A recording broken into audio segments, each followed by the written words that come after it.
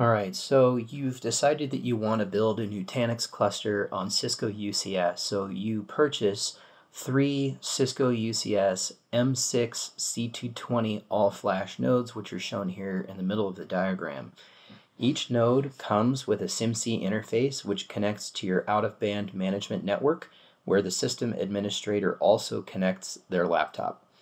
Each node also comes with 2 by 10 gig Ethernet NICs, which connect to your upstream production network. Each of these three independent nodes will come pre-installed with two things. One, the Nutanix hypervisor called AHV, which stands for Acropolis Hypervisor, and that runs directly on the hardware. This is represented by the gray box around each server node. It also comes pre-installed with Nutanix operating system called AOS, which stands for Acropolis Operating System, and this runs on the controller VM atop the hypervisor. This is represented by the light green box just above each server node. If you cable and power all of this up, then you're prepared to provision your cluster, which means you've achieved your day zero setup. The CVM runs AOS and has several capabilities and functions.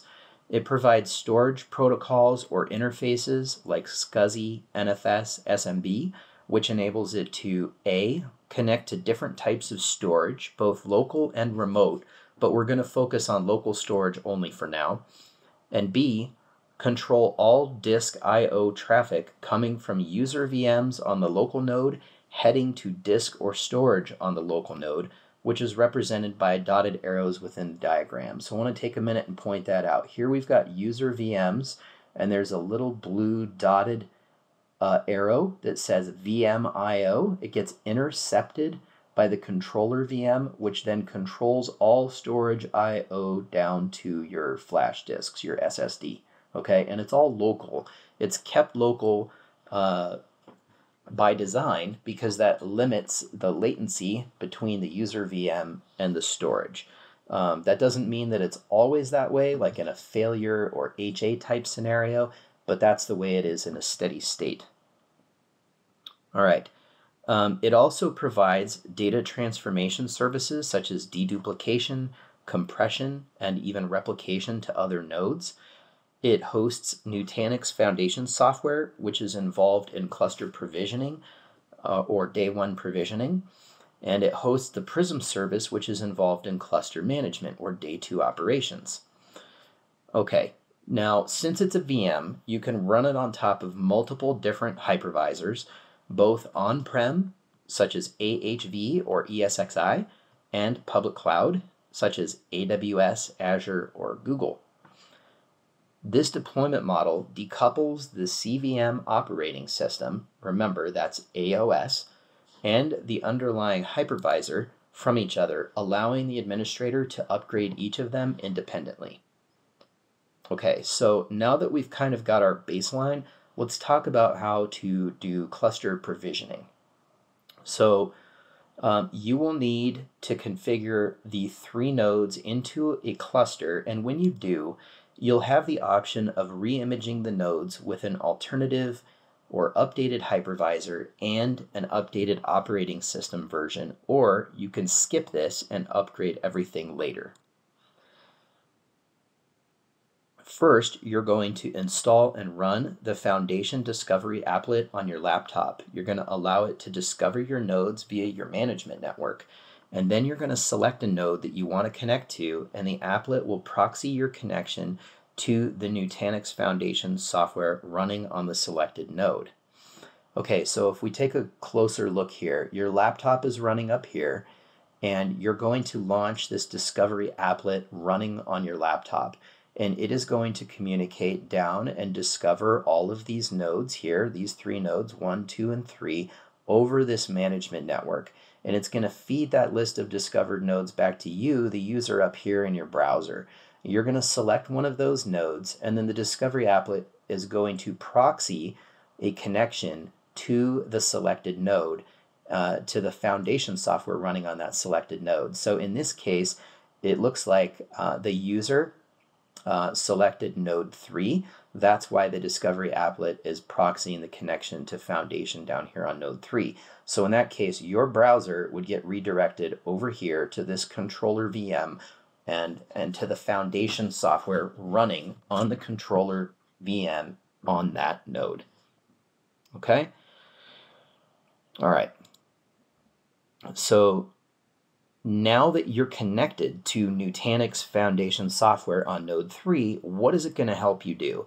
First, it's going to allow you to select which nodes you want to be in your Nutanix cluster. So you can select your own node, but you can also select these other two nodes that you want to be in your cluster. It's going to determine the network settings, including the IP addresses for your CIMC, your hypervisor, your controller VM, and your cluster IP.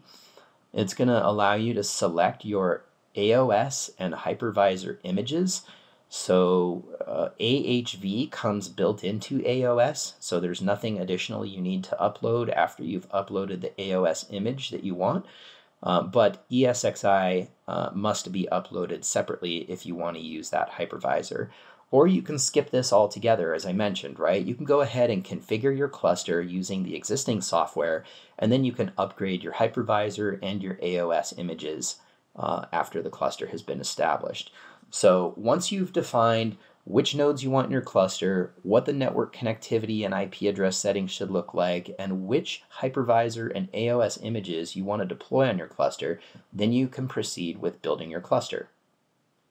All right, so now that you've built your cluster, each controller VM now has an IP address which facilitates intercommunication amongst the CVMs running on the separate nodes and enables reachability to networked services that are running within the CVM. So the CVM IPs are shown here as little black dots, and the cluster IP is shown as a little orange dot. Now, um, the Prism service is used for cluster management, right? And it runs within each CVM, but with an elected Prism leader that actively handles requests within the cluster.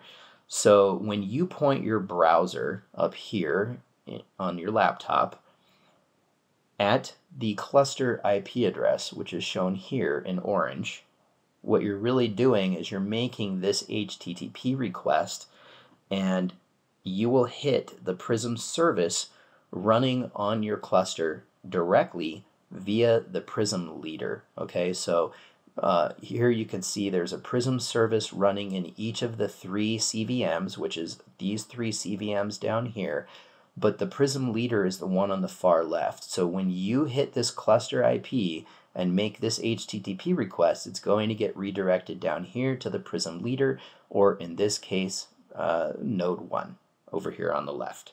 Okay? Um, this method is known as prism element, uh, which you'll sometimes see uh, abbreviated as PE, which uh, is used for single cluster management. And that makes sense, right? Because you're pointing your browser at a specific cluster IP that is uh, uh, unique to an individual cluster, right? But what if you have multiple clusters? So not just one of these versions, but uh, or what you're seeing here in the middle of the diagram, these three nodes built in a cluster. What if you had three more of those nodes built in a totally different cluster with a different cluster IP and you wanted to manage them both? In that case, then you can deploy something called Prism Central, which is used for multi-cluster management. Now, in the same way that you typically deploy vCenter on top of the cluster of hosts that it manages, you can also deploy Prism Central as either one or three VMs on top of your Nutanix cluster. Okay, and that's shown down here in the lower right part of the diagram. So you'll notice up here it says Prism Central, one or three nodes, and it kind of has this double underline here. And then down here, you see multiple clusters that you're going to manage with Prism Central. You see cluster 1, cluster 2, cluster 3.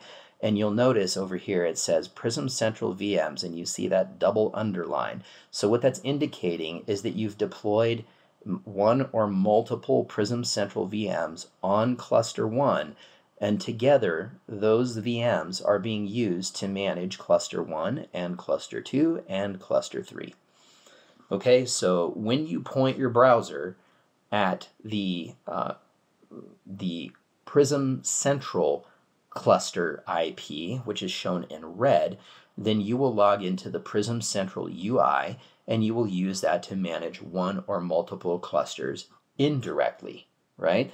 Uh, you're now in the UI, and then within the UI, you're going to select a cluster that you want to manage, and essentially that's going to redirect you to this cluster IP, and then you're going to hit the Prism leader, uh, and then you're going to be able to manage this entire cluster.